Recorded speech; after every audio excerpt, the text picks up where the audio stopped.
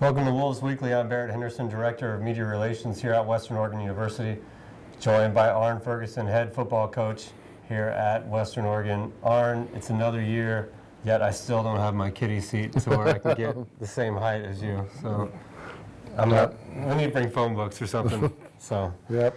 So I'm not sure we need to talk to on that. that's right, yeah, we're gonna have to make that happen. But uh, it was an excellent summer, but I know you're excited to uh, get going here. Uh, September 6th will be the first game at Portland State in Hillsboro, um, but it's a fun time, great time of year. Yeah, for us to play Portland State um, is a really good opportunity for our players.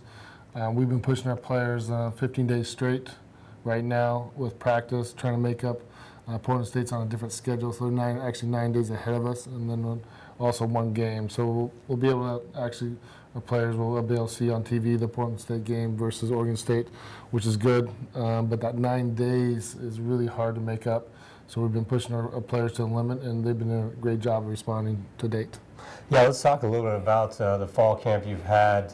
Uh, you guys have really been going really hard out there early in the morning, some two a days. Um, it it's, looks like it's been a great success for you so far. Yeah, the, you know, our strength coach Corey Metzger does a good job so they can handle the, the load that we're, we're uh, giving them as far as the amount of reps and the physicalness of those reps. Um, yesterday's practice was extremely physical and also was their best practice. So we're going to need that physicality playing a, a, a subdivision school like Portland State, um, who you know uh, has a lot of things in their advantage. But we really feel that we have some players like Craig Aikens, um, Tyrell Williams, um, obviously Ryan Bergman, Joe Harris that can really uh, match that intensity. We're really trying to get our, our next players, that next level players, to understand um, how fast and physical it is when you play up. Yeah, you guys got that experience last year against Eastern Washington, uh, against a quality FCS opponent from the Big Sky Conference. And uh, we'll talk more about Portland State next week in uh, Wolves Weekly Show. I want to talk to you primarily today about uh, a season preview. You just went through some names on some key returners. Uh, obviously, a great, great crew you just had there.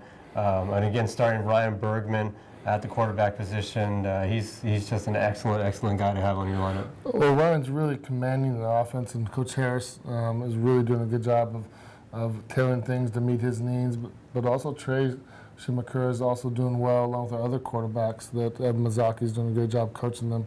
So we're really confident that our offensive coaching staff is putting a lot of people in the right position.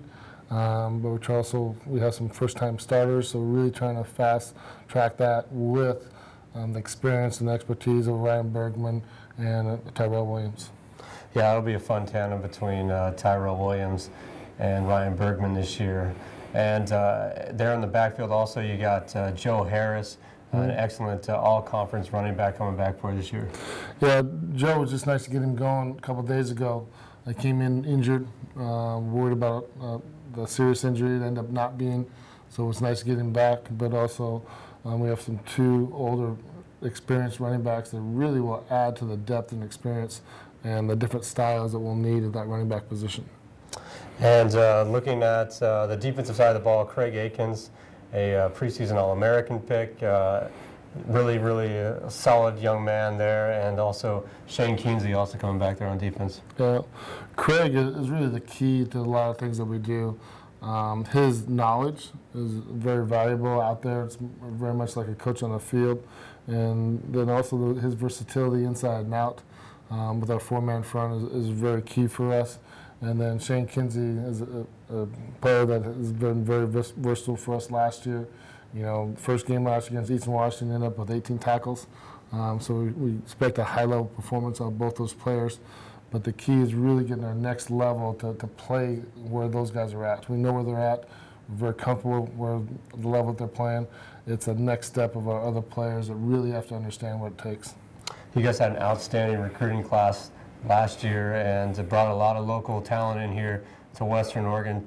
How about some of the new faces that the fans will get to know pretty quick here? Yeah, it's still um, we're it's a day by day. We're evaluating those decisions, and it's close. Um, we're trying to predict how much playing time they get through the season, what's best for our program now and also in the future, whether they get a redshirt or not. Um, so those decisions are, are day by day. I do know we have some players that we expect to really help us I'm just not sure the depth uh, where that's going to fit right now, and some of it's also health related too. GNAC preseason poll came out here recently, and uh, Western Oregon tabbed third, just one point behind Central Washington in a really tight 2-3 uh, their ranking in the poll. But number one is Azusa Pacific, um, favored to defend their title. But again, coach, this is a really, really tough GNAC conference. Yeah, the you know um, Azusa Pacific will really have a chance to see how good they are against a, a consistent Grand Valley team that was a playoff team last year. We also play and travel to North Alabama, who's a playoff team last year. Um, so that'll really tell where those things are at with both both our two teams. Central Washington is a new transition with coaching staff, um, so it's unknown really what they're going to do as far as what style offense and defense. We, we know that uh, consistently they've been one of the best talented teams in our conference with the most depth. So we're expecting really those teams to be really good. And then uh, we've added South Dakota School of Mines, which will help. Um, not, they had a real good season last year. Then Humboldt, we know they'll rebound off a season that wasn't their, their best. We expect them to also be right in the mix, uh, along with Dixie and Simon Fraser, who really are ratcheting up their talent um, overall. So the quality in this conference has changed a lot in the last four years. Well, we can thank uh, the conference for scheduling a trip to Rapid City, South Dakota in November, right? Mm-hmm. Oh, yeah. That'll be fun to get mm-hmm. to. Well, uh, Coach, you've got an excellent staff here with you, and I know that you've done a lot this summer. If you want to talk a little bit about the camps that you guys have put together, along with a, a great golf tournament that you guys just had mm-hmm. here recently. Well, first of all, um, I've been here for a long time, and the quality of staff and the amount of help that we've had, um, and with our current administration, has, allowed us to really branch out and expand the things we can reach out in the community. Um, first of all, we had a kids camp that came in. We had about 80 to 90 kids and be involved with our spring game. And then our, our high school camp, we had over um, about 100 and well, about 100 coaches throughout the state, Washington and other areas, and then also about 500 um, student students, um, high school students came to our camp. So it was the biggest camp we've ever had and our school did a nice job of managing that and changing some things with us to make sure we, we were able to accommodate those needs. And then our golf tournament, we had 88 um, people playing in it. Um, mm-hmm. During a little bit of break for our players, and a lot of our players helped out. And really, our alumni just want to know our players and know what's going on and, and help with our program when they can. Yeah, uh, excellent footage uh, from one of your recent practices. Uh, you have you're, I believe, director of operations there, uh, mm-hmm. Jason Slowey, former player here, standout player, mm-hmm. and he put out on Instagram and social media your Kevin Sumlin interpretation, where you came to practice mm-hmm. and surprised everybody and said they got the day off, and it was quite the scene. Yeah, that didn't happen with our players very often for me, so um, it was really a surprise them. It took them a while to even set in. They would give them any time off. So, well, make sure you follow uh, Western Oregon football on Instagram and uh, Facebook and Twitter. Jason Slowey doing a great job with that coverage as well. But uh, yeah, it'll be September 6th in Hillsboro against Portland State. That'll be the season opener, a 7:15 kickoff, and also the home opener on September 20th here against Central Washington.